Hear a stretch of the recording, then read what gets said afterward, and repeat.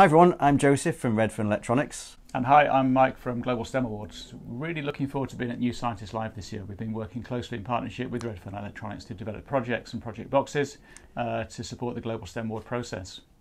Yeah, we're really excited to show those off, and we're also going to have some cool Crumble robotics controllers based around the moon and space theme that you can have a go at programming and controlling a robot. So at the show, we're going to be launching the Conservation Box and the Explorer boxes, both of which are linked in with Joseph's products.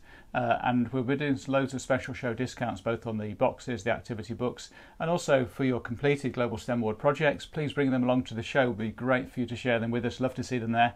Uh, and we can credit those at the show for you receiving your certificates very soon afterwards at special show prices. Yep, and we're really excited to get ready to go to the show. So we'll see you there in October. Looking forward to it.